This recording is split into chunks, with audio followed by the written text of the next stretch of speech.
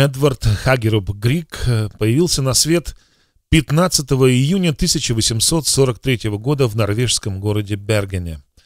Музыкальный талант мальчик унаследовал с обеих сторон. Отец неплохо музицировал, а мать, да вообще, закончила консерваторию в Гамбурге, куда женщин тогда принимали лишь в исключительных случаях. Разумеется, в семье Григов отношение к музыке было особое. За пианино Эдварда усадили в четырехлетнем возрасте. О карьере профессионального музыканта Эдвард не мечтал, но когда ему исполнилось 15, к Григам на дачу приехал старый друг отца, композитор и скрипач Олли Бул, к тому времени уже завоевавший мировую славу. Выяснив, что младший Грик обожает музыку и пытается сочинять ее сам, Бул усадил подростка за рояль и велел играть. Результат этого прослушивания ошеломил всю семью и прежде всего самого Эдварда. Бул безапелляционно заявил, что у мальчика огромный талант — и его следует немедленно отправить в Лейпцигскую консерваторию. Получив диплом, давший ему статус профессионального пианиста и композитора, Эдвард ненадолго заглянул к родителям и умчался в Копенгаген, который был тогда центром музыкальной Скандинавии. Годы в Копенгагене дали Григу очень многое и в плане музыки, и в плане личной жизни. Именно там он встретил женщину, которая стала его женой и наполнила жизнь композитора всей гаммой человеческих переживаний, от немыслимого счастья до самоубийственной горечи. Без этих переживаний не было бы, наверное, той музыки, которую писал Грик. Хотя сказать, что Эдвард познакомился со своей музой в Копенгагене, было бы неправильно. Нина Хагеруб была его двоюродной сестрой. Они росли вместе в Бергене. Когда Эдвард увидел ее вновь, она была уже взрослой девушкой. Подруга детства превратилась в красивую женщину, да еще и певицу с прекрасным голосом. Грик потерял разум от любви к прелестной кузине и начал лихорадочно строчить в ее честь романсы. Стихами для них его снабжал приятель Ганс Христиан Андерсон. Когда любовных сонетов набралось на целый сборник, Эдвард назвал его «Мелодия сердца», и преподнес предмету своего обожания. Сделал он это на рождественской вечеринке 1864 года. Вручив мелодии сердца своей двоюродной сестре, он упал на колени и попросил ее руки. Нина ответила согласием. Вы с этого момента начались неприятности.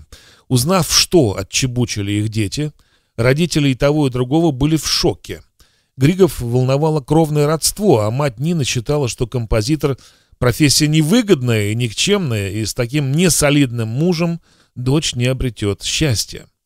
Тем не менее, помешать свадьбе родственники не могли, и через три года влюбленные все-таки обвенчались. Родители на венчании отсутствовали, не в силах терпеть давление родни, молодожены переехали в Осло. Начало их совместной жизни было вполне типичным неземная любовь и материальные трудности.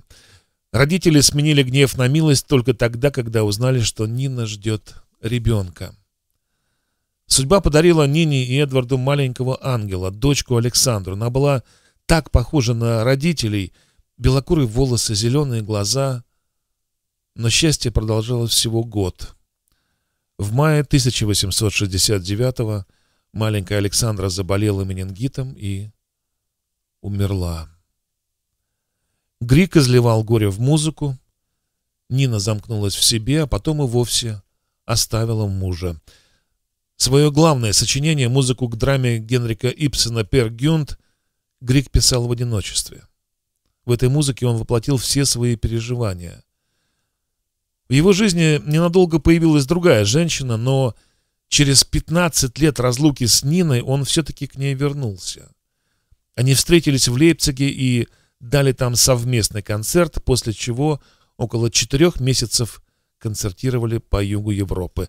Публика была в восторге, и неудивительно, ведь все свои романсы Грик писал именно для голоса Нины, ну, не такого уж сильного, но умевшего передавать самые интимные лирические настроения. В Норвегию Григи вернулись летом того же года, и построили небольшой домик в горах всего в миле от родного города. Они назвали избушку Тролдхауген, что в переводе с норвежского означает «холм троллей». Вот именно в этой избушке, спрятанной в лесу среди молчаливых северных сосен, Грик написал все свои лучшие произведения. Он утверждал, что именно на холме троллей исцеляется его многострадальная душа. Вот такая сказка о любви, воплощенная в музыке, которая помогает понять, чем же так берут за душу волшебные мелодии Грига. Он скончался в 1907 году, завещав упокоить его не на кладбище, а в скалах Бергена. Урну с прахом Эдварда Грига поместили в небольшой грот высоко над холодным морем. Говорят, что сквозь плеск волн в том месте иногда слышна музыка. Та самая, которую мы с вами сейчас послушаем.